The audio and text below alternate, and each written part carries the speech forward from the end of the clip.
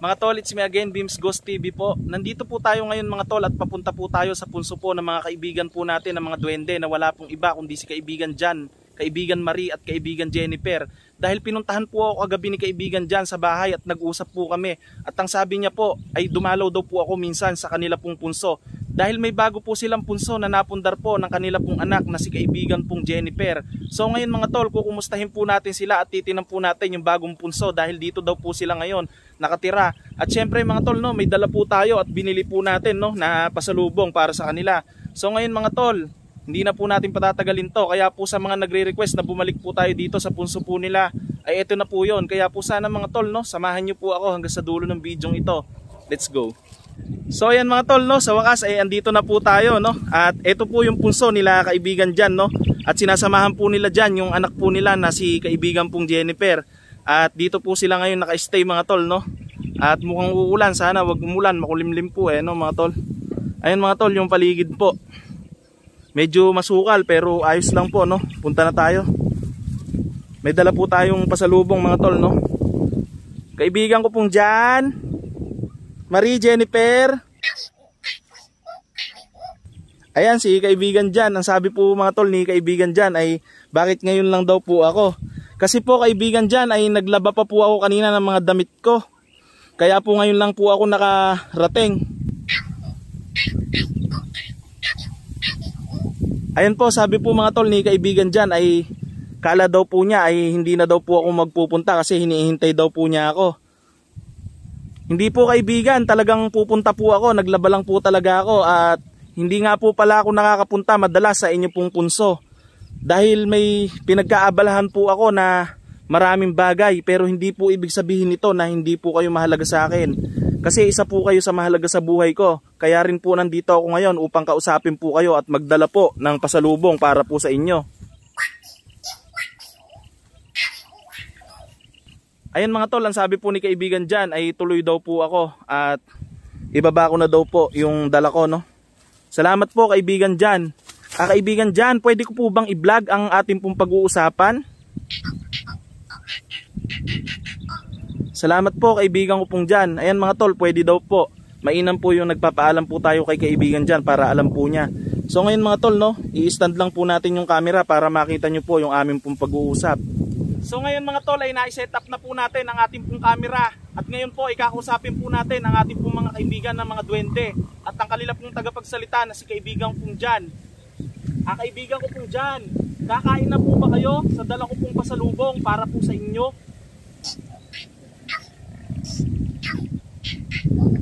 Okay po kaibigan. Yan po mga tol, ang sabi po ni kaibigan dyan ay mamaya na daw po sila kakain. Yun po ang sabi niya. Ah kaibigan ko pong dyan, kamusta naman na po kayo ngayon? Dahil medyo matagal po akong hindi nakapunta po sa inyo. Mula po nung naging busy po ako. Salamat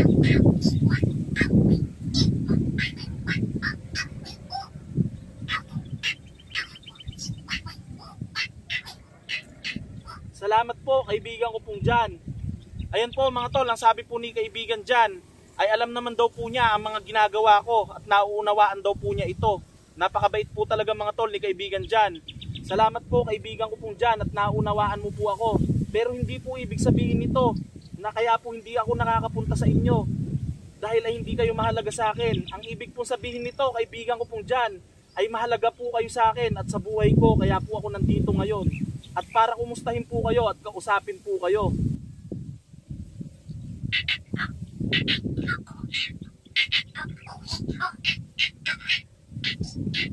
Salamat po kaibigan ko pong dyan at nasa mabuti po kayong kalagayan. Ang sabi po ni kaibigan dyan mga tol ay okay lang naman daw po sila at nasa mabuti po silang kalagayan po sa ngayon. At ang sabi po niya mga tol sa akin no ay meron daw po siyang ibibigay sa akin. Ano po ba kaibigan dyan ang bibigay mo po sa akin?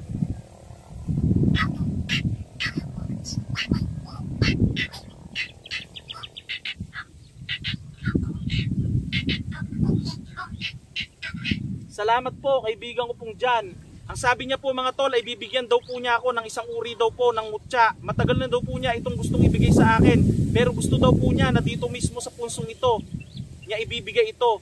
Yun po ang sabi niya. Ah, kaibigan ko pong dyan. ayoko na pong tanggapin ito dahil kontento na po ako kung ano po ang meron tayo tulad nitong pagkakaibigan po natin.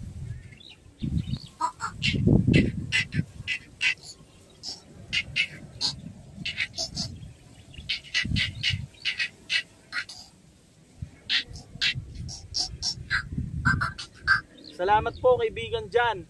Ang sabi po mga tol ni kaibigan Jan ay kailangan ko daw po ito bilang isang proteksyon daw po sa pang-araw-araw kong buhay at sa akin mga ginagawa na eksplorasyon. Yun po ang sabi niya. Ah, kaibigan ko pong Jan, ano po bang klase ng mutya itong ibibigay mo po sa akin?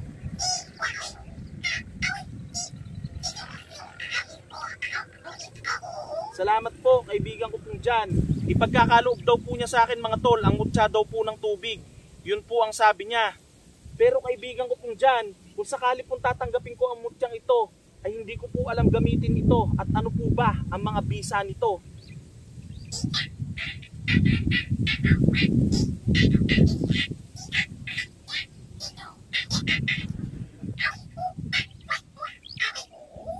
Salamat po kaibigan dyan. Ang sabi po ni kaibigan dyan mga tol ay paghawak ko na daw po ang mutyang ito at mabuti daw po ang aking hangarin at ang aking puso ay kusa daw po itong gagana at ang bisa daw po nito ay pampalubag loob sa mga elemento at sa mga tao.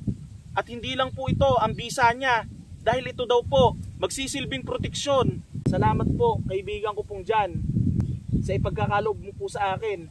Sa pagkakataong ito ay kailangan ko po talaga ng pamproteksyon po sa akin. Dahil nararamdaman ko po na medyo mahina po ang aking kakayahan sa ngayon lalo na po ang mga ginagamit kong orasyon. Tatanggapin ko po kaibigan ng buong puso kung talagang yan po ay para sa akin.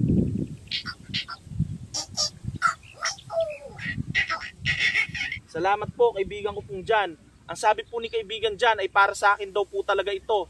Yun po ang sabi niya mga tol Sige po mga kaibigan kong duwende, tinatanggap ko po ang binibigay mo po sa akin na mutya.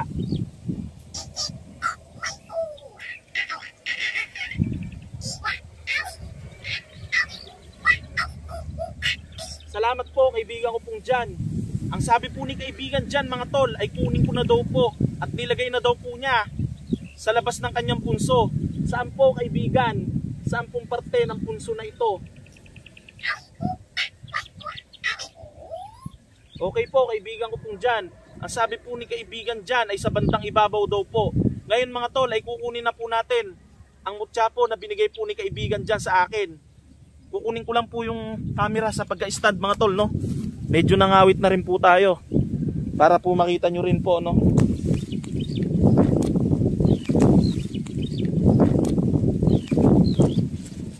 Ayan, nakikita nyo po ba mga tol? Ito na po kaibigan dyan, nakita ko na po sa ibabaw po ng punso. Kukunin ko na po ba? Ayun po mga tol, no? Oo daw po, sabi ni kaibigan dyan, kukunin na po natin. Ito na po mga tol. Ah, kaibigan ko pong dyan, napakaganda po ng mutya po ng tubig. Bakit po hugis puso ito? Ang mutyang tubig na ito.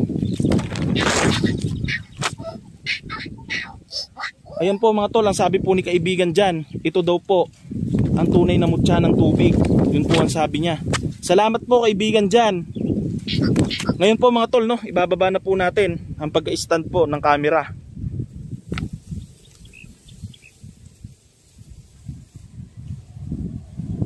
So ngayon mga tol, kakausapin po natin si kaibigan dyan.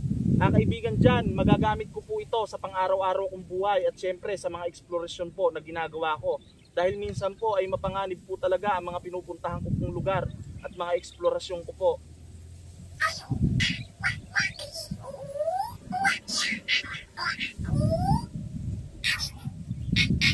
Makakaasa ka po kaibigan ko pong dyan.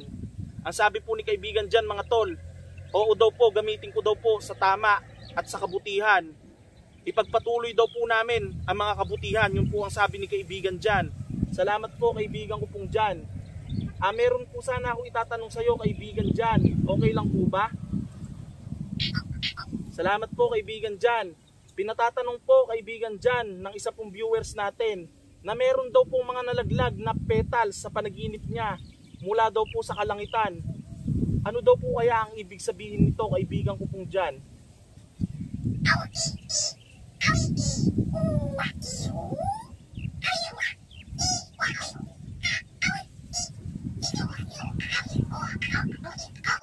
Salamat po kaibigan dyan. Ang sabi po ni kaibigan dyan ay madalang lang daw po ang nakakapanaginip ng ganitong panaginip. Mula daw po sa matinding pagsubok at kahirapan. Ang panaginip daw po na ito, ang ibig sabihin daw po nito ay simbolo daw po ng pagtatagumpay. At may mga kapalit daw po ito ng mga swerte na darating. Yun po ang sabi ni kaibigan dyan. So ngayon mga tol, no, ay pag may meriendahin na po natin o papakainin na po natin sila kaibigan dyan, alam ko naman po na medyo mahaba na rin yung video natin. Ah, kaibigan dyan, kumain na po muna kayo.